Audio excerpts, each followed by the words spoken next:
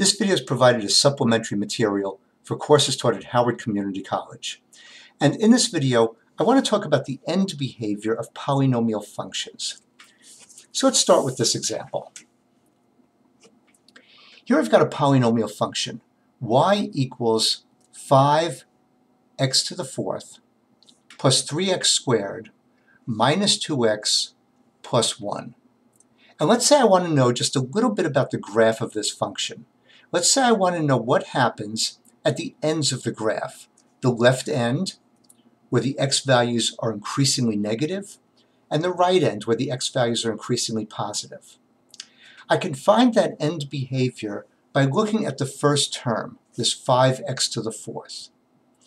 Now, the exponent for this first term, which would be the biggest exponent in the whole polynomial, is an even number. In this case, it's a 4. So we can say that the polynomial is an even degree polynomial. And the coefficient, the 5, which we call the lead coefficient, is a positive number. If I have a positive lead coefficient and a degree, a polynomial with an even degree, Here's what's going to happen for the end behavior. Whether the value has, whether I'm dealing with negative x values at the left end of the graph or positive x values at the right end of the graph, when I raise them to that even power, they're going to become positive. And when I then multiply that by a positive coefficient, they'll still be positive. So what that means is that as the graph extends more and more negatively at the left end and more and more positively at the right end, I'm going to have y values that are increasing. Now I don't know anything about what goes on in between, in the middle of the graph. All, I'm caring, all I care about here is the end behavior.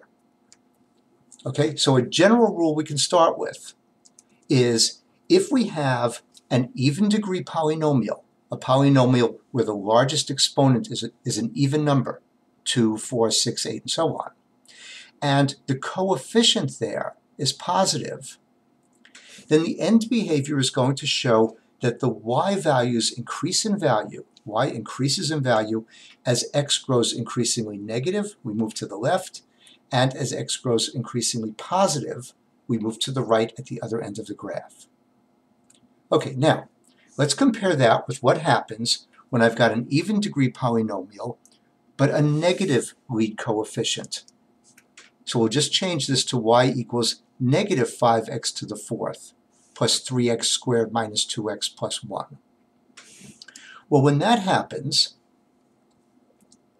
as x becomes increasingly negative at the left end or increasingly positive, when I raise the x values, to a fourth degree, or any even degree, they'll become positive.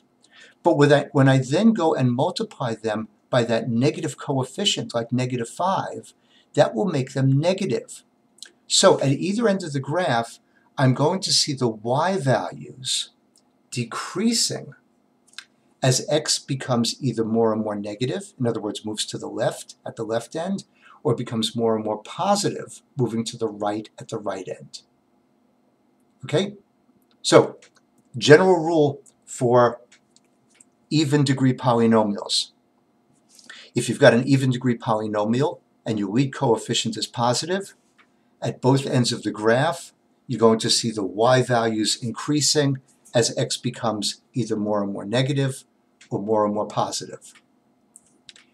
If your lead coefficient is negative, and we're still dealing with an even degree polynomial, you're going to see your y values decreasing at either end of the graph as x becomes more and more negative, and on the right as x becomes more and more positive. Okay, now let's deal with odd degree polynomials. So let's say we've got y equals 7x to the fifth plus 3x squared minus 2x plus 1. Let's see what's going to happen. Well, when x is very negative, a negative number raised to an odd degree, like x to the fifth, but it could have been x to the third, or the seventh, or the ninth, any odd degree for the polynomial, when we raise a negative number to an odd degree, it stays negative. And if we then multiply it by a positive coefficient, it will still be negative. So at the left end of this graph, the y values are going to be decreasing as we get more and more negative. At the right end of the graph, where I'm dealing with numbers that are more and more positive, when I take a positive number and raise it to an odd degree, it stays positive. And when I then multiply it by a positive coefficient, it's still positive. So at the right end of the graph, as x becomes more and more positive, the graph is going to increase in value. This will get flipped if I make the coefficient negative. So if I turn that into a negative 7 times x to the fifth, what's going to happen is at the left end, I've got negative numbers. I'm raising them to an odd degree, an odd exponent, which means they're still going to be negative. But then I multiply them by a negative coefficient, so they'll become positive. So at the left end of the graph, as my x values become more and more negative, my y values become more and more positive. At the right end of the graph, as my x values become more and more positive, well, when I take those positive x values and raise them to an odd degree, they'll still be positive. But when I multiply them by that negative coefficient, they then become negative. Okay? So your general rules for odd degree polynomials, the general rules will go like this.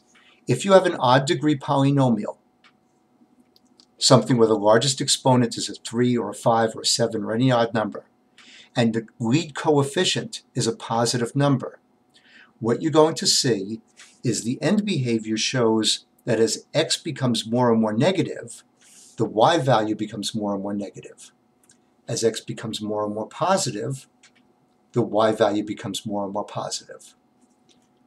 When we change the coefficient, the lead coefficient, to a negative number, it flips that. Now, as x becomes more and more negative, the y values become more and more positive. As x becomes more and more positive, the y values become more and more negative. Okay? So that's end behavior. I hope this helps. Take care. I'll see you next time.